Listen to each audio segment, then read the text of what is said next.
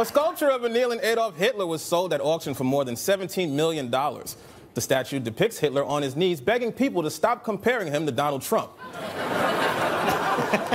Fortunately, it was sold to a Jewish man who is about to have the greatest Snapchat of all time. CIA Director General David Petraeus resigned Friday after it was revealed he was having an affair with the woman who wrote his biography, All In. Of course, when they first started working on the book, it was called Just the Tip.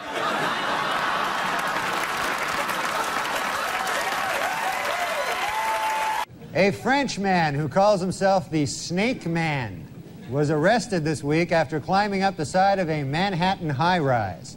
Yep, he climbed right up the side of a high rise, just like a snake.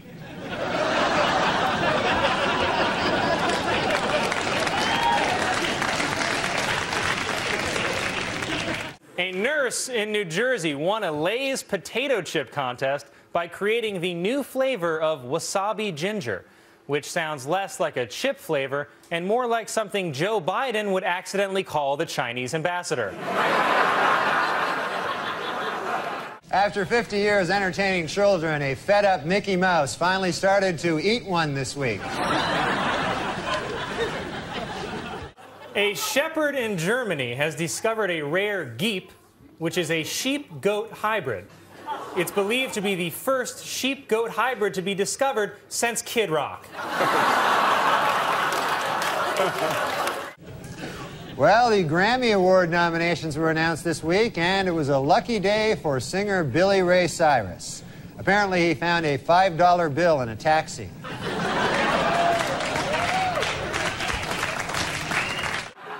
According to a new study of fossils, the act of sex used by humans was pioneered by an ancient armored fish called placoderms about 385 million years ago.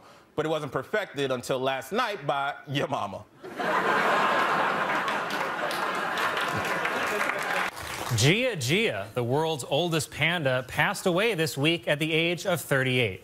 Jia Jia died after suffering a stroke stroke. In an effort to feel smarter than somebody, Dan Quayle this week spoke to 4,000 Amway employees. This weekend is New York Comic Con, the annual gathering of people whose comic books and genitals are kept in mint condition. Actor Charlie Sheen is reportedly engaged to model Donna Peele. Friends of Sheen say they knew Sheen was serious when he took Donna home to meet the hookers.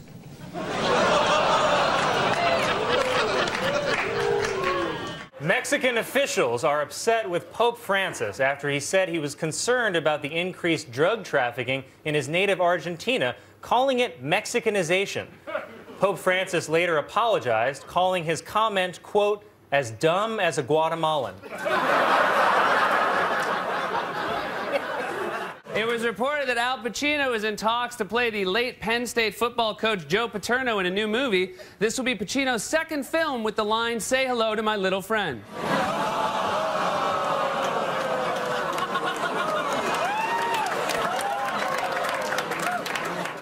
Well, O.J. Simpson's lawyers stopped feuding this week, finally. The Dream Team, F. Lee Bailey and Robert Shapiro, were able to put aside their differences and express their admiration for each other after O.J. threatened to cut their heads off.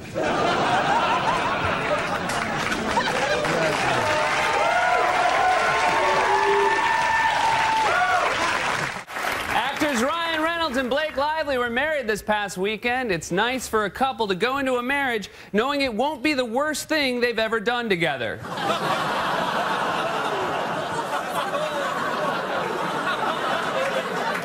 A writer for Orange is the New Black said that working on the show made her realize that she was gay, while watching what goes on in that woman's prison reminded me that I am not.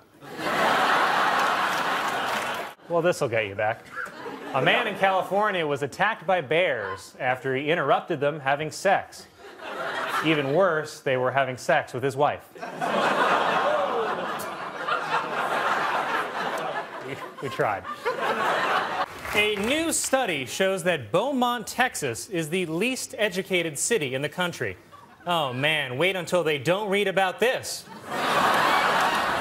Well, there may be trouble in paradise. Lisa Marie Presley confirmed this week that she and Michael Jackson live in separate residences 50 miles away from each other. Lisa Marie was quoted as saying, I guess being married to a homosexual pedophile wasn't such a great idea after all.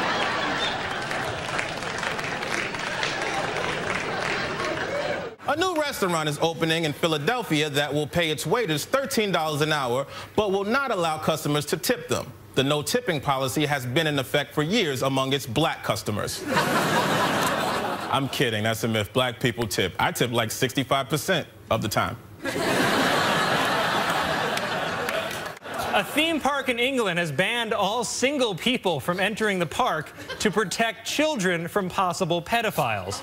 So let this be a lesson to all you pedophiles out there. Start working in teams. Kenny G has a Christmas album out this year. Hey, happy birthday, Jesus. Hope you like crap.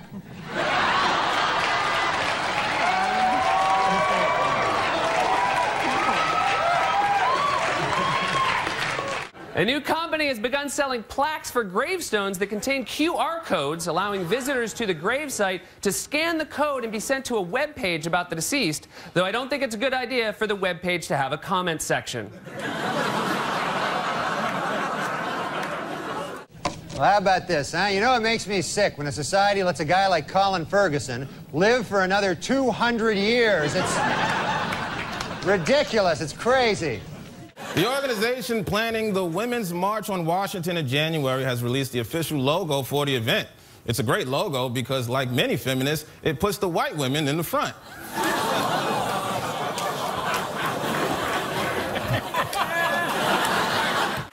The National Museum of African American History opened on the Washington Mall this week, and it gives a detailed account of black history in the U.S. Or, for a different version of black history, give my grandpa scotch. oh, now you on my side. George Zimmerman, who shot Trayvon Martin, spoke out for the first time, saying he blames President Obama for inciting racial tensions that erupted after the shooting. At least he thinks it was Obama. It was pretty dark at the time. According to a new study, about 15% of two-year-olds in Boston drink as much as four ounces of coffee a day. But Boston kids need that coffee to help them get through their hangovers. A new public bathroom has opened in China that is completely transparent. Oh, sure, but when I use a transparent public bathroom, I'm vandalizing the Apple Store. A 70 year old woman in India has given birth to her first child. Doctors describe the birth as, quote, like pulling a penny out of a wad of gum.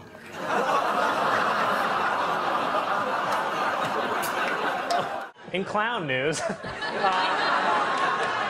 clowns in Arizona are rallying in support of their profession by organizing a Clown Lives Matter rally. Even worse, the clowns are inviting children to the rally, which takes place deep in the woods. Judge Ito was interviewed this week by a local TV station in Los Angeles. Asked by the interviewer if it was appropriate for a supposedly impartial judge to be on TV with his case still pending, Ito said, Maybe not, but how appropriate is it to kill your ex wife?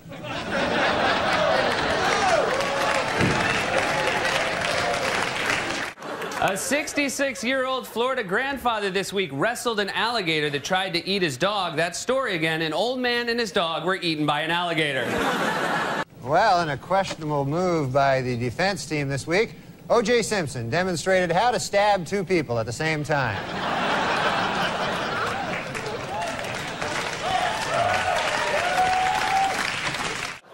Has announced plans to start selling a new version of its classic Bronco SUV in 2020. Hey, just in time for parole. A man in Australia has been bitten by a venomous spider on his penis for the second time in five months. Fool me once, said the guy who had to suck out the poison. A California farmer has begun powering his farm using leftover walnut shells. If you're wondering which farm it is, it's the one with no power. OJ's pal Al Cowlings now has a 1-900 number.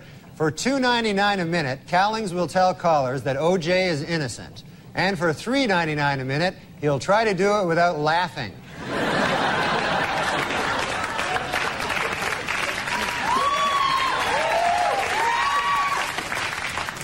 To mark its 75th anniversary, General Mills will abandon its traditional image of Betty Crocker and unveil a new multi-ethnic Betty Crocker, whose likeness will combine the features of 75 different kinds of women. Here she is.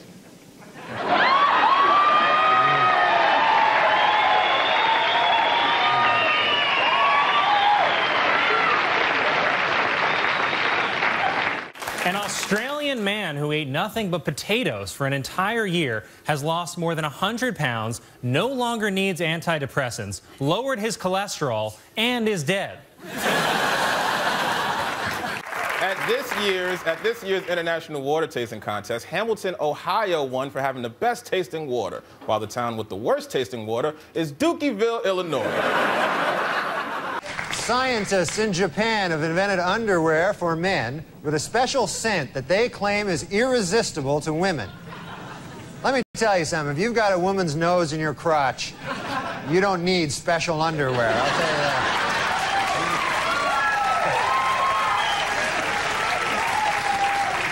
A Cheeto that looks like the gorilla Harambe was sold on eBay for nearly $100,000. The buyer is actually a little like Harambe in that he also deserves to be shot.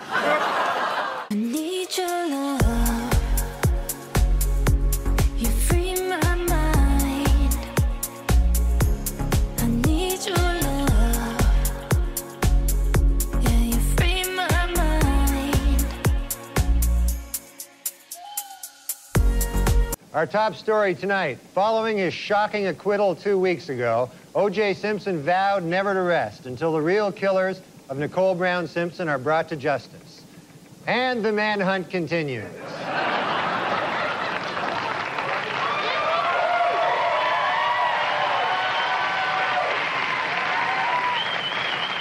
A number of airports around the country are trying to relieve the stress caused by long security lines by hiring clowns to entertain travelers.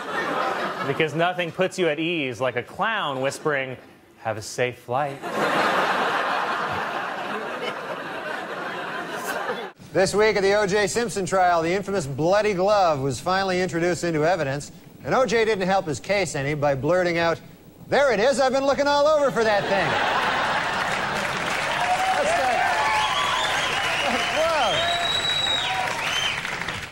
This week, China and the U.S. reached a historic agreement to cut carbon emissions. The leader of ISIS may have been killed in an airstrike, and a spacecraft landed on a comet 300 million miles away. But that ass, though.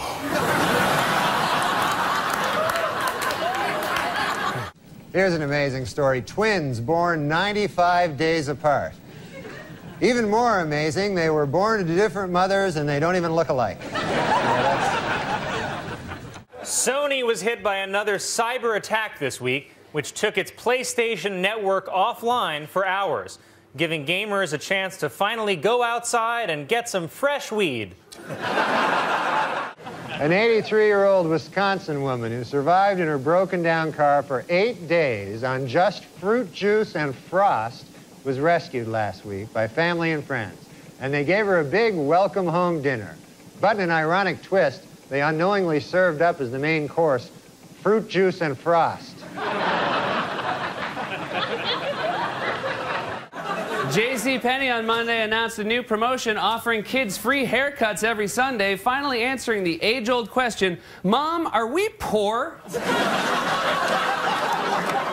Well, Premiere Magazine's list of the 100 most powerful people in Hollywood hit the newsstands this month.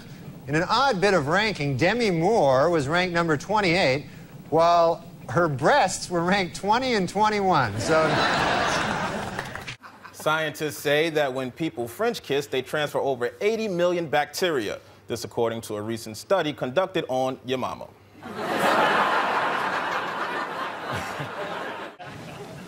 In Arkansas, a 25 year old man has been arrested for going door to door attempting to trade sticks of dynamite for sex or drugs.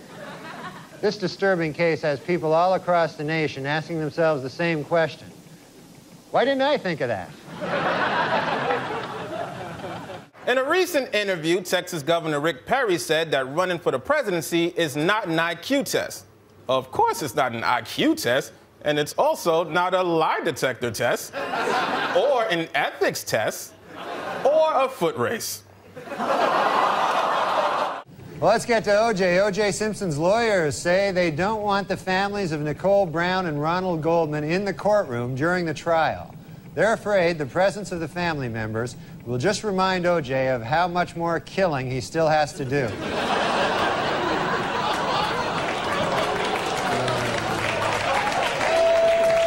A New Hampshire man was arrested for child endangerment after he left his twin nine year old nephews home alone for days at a time. Said one of the twins, We used to be triplets.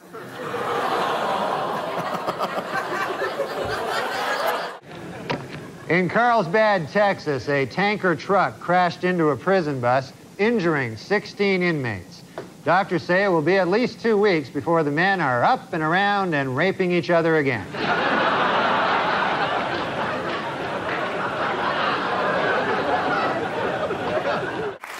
According to an annual ranking by Orkin Pest Control, the places in America with the worst bedbug problems are Chicago, Detroit, and your mama.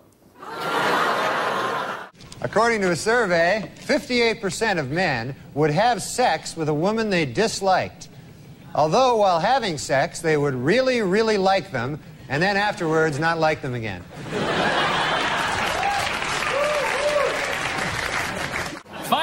In Florida rescued a seven foot boa constrictor from a house fire. Oh, crap, said a rabbit holding a gas can.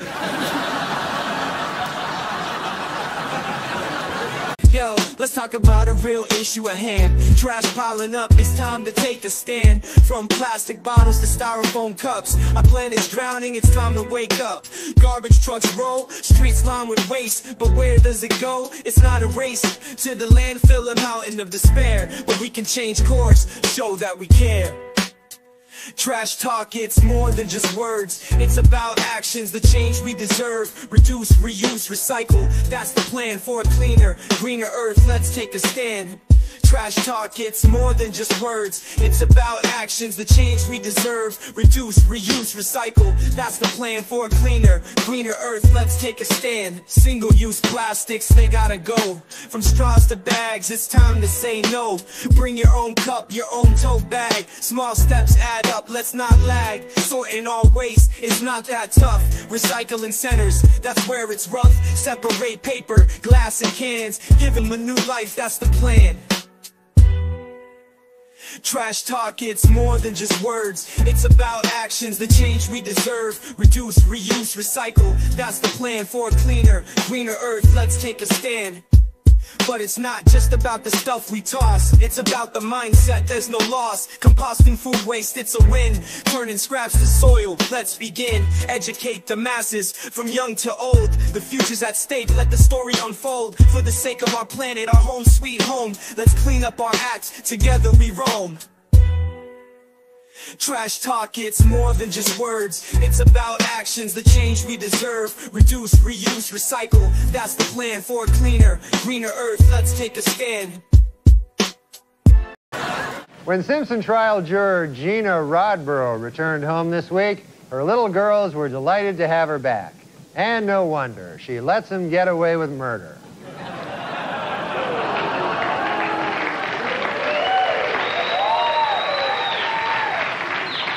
And uh, finally, physicist Stephen Hawking, who is wheelchair bound and speaks through a computer voice box, was married earlier this month for a second time. You guys out there who can't get a date, start feeling sorry for yourselves now. The parents of a six year old Indonesian boy who is addicted to smoking say that he has cut down to five cigarettes a day. Now, that's very impressive considering how stressed he's been at the sneaker factory.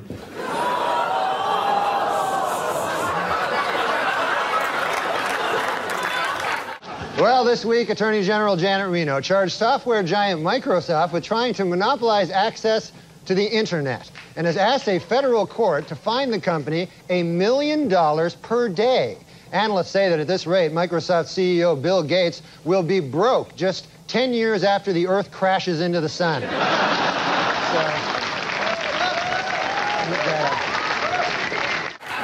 Nevada's famed Moonlight Bunny Ranch brothel is searching for a quality control tester who will be paid to have sex with prostitutes and rate their performance. The prostitutes will be graded on a scale from F to don't F.